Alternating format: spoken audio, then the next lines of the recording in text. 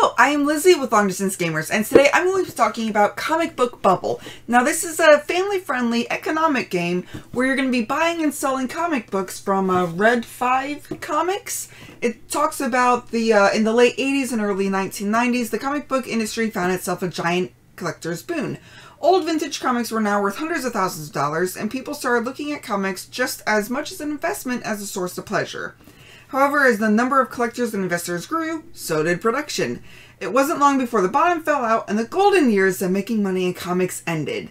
The comic book bubble officially burst in 1997 when even large comic companies declared bankruptcy. Are you savvy enough to make money in the before the bubble bursts? So we'll go ahead and talk about how this plays and what I think about it. So here we have the game set up for two players. We have each of the player boards each player has 20 money, and they've been given three starting comic book cards. We have the comic book cards shuffled and put in here. And then here we have just randomly drawn and put them starting from this star symbol and of course moving up until it's done. And then in year one, we place these in relative order as far as where the tokens ended up randomly. So then what each players will do simultaneously is they will choose two of their starting comics and go ahead and put them in their catalog spots. So I might choose these two because the exclamation point's really high so I can get a lot of money and that symbol's high and yeah, so we'll go with those two. This one will get returned to the box.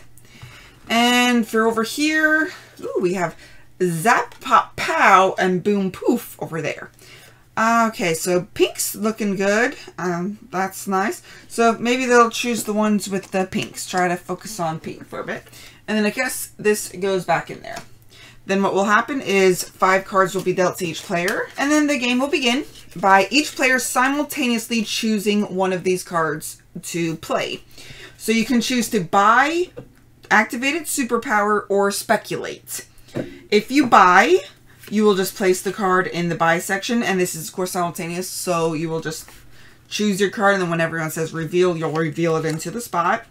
You would just go through and add up the three symbols on these. So the pink right here is $3, this is $0, and $4, so you would spend 7 of your dollars if you wanted to do that. The minimum value does have to be at least $1. It says right there. So if you do buy, you can no longer sell anything that round, so you might want to wait. And if you do buy, once you pay the money to the bank, you'll put that right into your thing, in your catalog slot. You can only hold three catalogs ever. Uh, in the superpower, all of these cards have a symbol at the bottom, it would activate that superpower. So we'll go over the few ones that there are. So this one, it would just mean that that symbol minuses three spaces. You can never place them on top. So it would go one, two, three. It's just two different symbols. You always uh, start from left to right. So we would start by moving that. So we would go one, two, and one, two. For the rest of this round, anyone that sells anything dealing with that symbol would make two more dollars. So right now it's worth 12, but for the rest of the round it'll be worth 14, assuming it doesn't move. Uh, and then this, you could add 5 to the lowest. So you would take whichever one is the lowest, which is actually this one. And you would go one, two, three, four, 5. And then this one, is the same as that, except then that one's the one that will sell for more for the round. Uh, this one, see how it has a lock symbol in that? So for that turn, this could no longer move. So if this was up here before we played, at the same time we played this, then this card would have no effect. Because even though it does have a minus there, this lock symbol prevents it from going off. This just means that you will be switching the highest one, you'll follow it with its uh, same symbol, so it would just move to right there. And then this is just another one of those minuses, another one of those locks, just a different symbol, and different symbols for moving those. So that's basically how you would go, and I'm not sure how the five of these went. And then speculate would be if players do that, they would go there. Maybe this player did not. Anytime that you have less than three cards drawn for the speculate, you would pull one of these cards from the top of the deck. So then we can put these speculate cards here. Then we will just go through this gender speculation order. So we start here. We don't have any of those. We do have one pink. So the pink will go ahead and move up one space.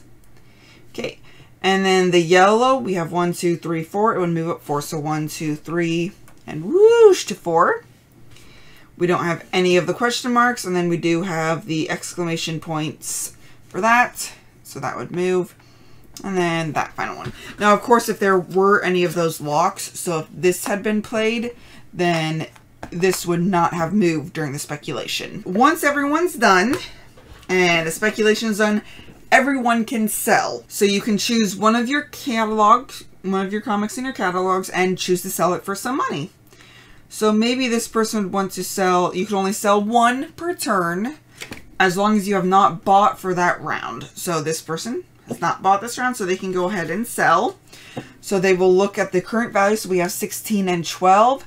So they will get $28 from the bank. So they will just take the 28 and add it to their money. And then this gets turned over and placed right here. Once everyone's done, the cards will swap. These will get discarded and you will look at your new cards. Now, if you do are playing with more than two, you would be just drafting these cards and just going around in a circle.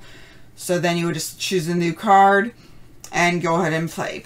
Once you reach the point that you only have one card remaining, the end of the round will occur. A few things will happen. First, this year two will go into the current order. So purple will be moved up to here. Pink would come down here. And it's just in relative order from top to bottom. It doesn't matter if they're going up or coming down. Uh, so you just move them as they are. So then we will move this over to year two. And then we can go ahead and start the new round. Now you will be given four cards to each player. Because they already had the one. So they will start with five cards at the end of the round. Or at the beginning of the round. And then go through and play this. And the same thing will happen for year three and year four. At the end of year four, so say all of these are in here, then whatever catalogs you have, you will sell for the value of whatever they may be, and then they will all come into your back catalog. Then what will happen is you will go through and figure out who has the most of each symbol. And then we will just go ahead and start left to right. Okay, so we'll start with this one. This one is in sixth place, so whoever has the most from this one will be losing $20. So we have one, two over here. We have one, two, three over here. So this person would have to take $20 and return it to the bank. Obviously, there'd be more money than that. Five player might look more like that. Uh, so then we do that. So then we will go to the pink. We have one, two, three, four over here. And then one, two. So this player, we find where pink is located. Pink is in second place. So this player will then get $30. So, woo! so on and so forth until we've scored all of them. And then whoever has the most amount of money is the winner of the game. Okay, so that is the basic for Comic Book Bubble. So what do I think about it? I really do enjoy this game. It is a nice family weight level game of economics where you can buy low, sell high sort of thing. And I do like this theme. It is a very unique theme. It's not one that you see very often. And I just, I like all these unique artworks. Every card is different. And I just, I really enjoy just all the different artwork on the cards. And yeah, that was a lot of pink for my pink screen. Something I do also really like is buying. You have to time that well because you can't have more than three catalogs. So you'll want to, you know, do your superpowers and speculates for a little bit, but you also want to have as much to sell as you can, but you can't, once you buy, you can no longer sell. So that push and pull of when do I want to buy this comic, because these don't change during the round. They do change at the end, but as you're buying them, the value is set. So you might be able to buy this comic for $8, but sometimes throughout the round it will end up here at the $3 range. So maybe now is not the time to buy something with that purple question mark symbol, which something I do really like is while it is color coordinated, it is also colorblind friendly, which these are of course prototype. I do believe that they will have these symbols on this as well, so that will make it completely colorblind friendly. And of course all the symbols are on here too, which makes it really nice. I really do like that. It's very easy to follow. This graphic design is very nice. You know this is the way you're moving normally and then this is the one that you react when you're doing that switch thing. You know you're going this to there. You know that that's the order that you're doing it in. And these player aids are just, it shows you the end of year scoring. So you'll want to try to get, if you have a whole lot of purple, you want to make sure that purple is as high up as it can be. So that way it will be the first place. So you can get $40 instead of it being all the way down here where you're going to lose $20. And I do like how that's very clearly laid out. I like how it's very easy to tell what the different dollar amounts are. It's very easy to read this. There's no graphical design issues that I have whatsoever. The cards are very easy to see what it is going, what it is doing. Like, okay, that symbol, you get three more dollars. This round sells for three more dollars. Then it's valued this round. It tells you right on the card, which I really like.